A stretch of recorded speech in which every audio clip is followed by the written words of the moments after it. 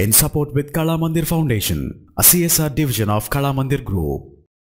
మనం తెలుసో తెలియకో మన ఫోన్లో రకరకాల ఫైల్స్ని మళ్ళీ మళ్ళీ డౌన్లోడ్ చేసుకుంటూ ఉంటాం. ఈ నేపథ్యంలో డూప్లికేట్ ఫైల్స్ అనేవి పెరిగిపోతూ ఉంటాయి కదా. అలాగా ఫోన్లో ఉన్న డూప్లికేట్ ఫైల్స్ని డిలీట్ చేయడం కోసం డూప్లికేట్ ఫైల్ రిమూవర్ అని చెప్పేసి అని ఒక ఆండ్రాయిడ్ అప్లికేషన్ ప్లేస్టోర్లో లభిస్తుంది. వన్స్ దీన్ని ఇన్స్టాల్ చేసి ఓపెన్ చేసిన తర్వాత దీంట్లో మనకి స్కాన్ డూప్లికేట్ ఇమేజెస్ లేదా ఆడియో ఫైల్స్ కొన్ని సందర్భాలు ఆడియో ఫైల్స్ని కూడా మనం డూప్లికేట్స్ పెరిగిపోతూ ఉంటాయి. వాటిని స్కాన్ చేసుకోవచ్చు.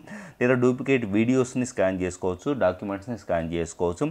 ఇది ఎలా పనిచేస్తుందో చూద్దాం. ఇప్పుడు ఫర్ ఎగ్జాంపుల్ ఇమేజెస్ స్కాన్ చేస్తే ఆటోమేటిక్గా ఇక్కడ పలు రకాల ఇమేజెస్ అనేది డూప్లికేట్స్ కనపడుతున్నాయి. వీటిలో మనకి ఒకదాన్ని టిక్ చేసేసి మనకు వద్దనుకుంటే కనుక దాన్ని డిలీట్ చేసుకోవచ్చు.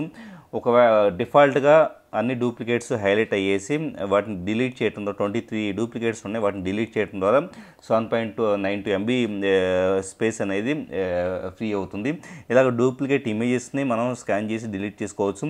అలాగే వీడియోస్ని కావచ్చు ఆడియోస్ని కావచ్చు రిమైనింగ్ ఫైల్స్ని కూడా డిలీట్ చేసుకోవచ్చు.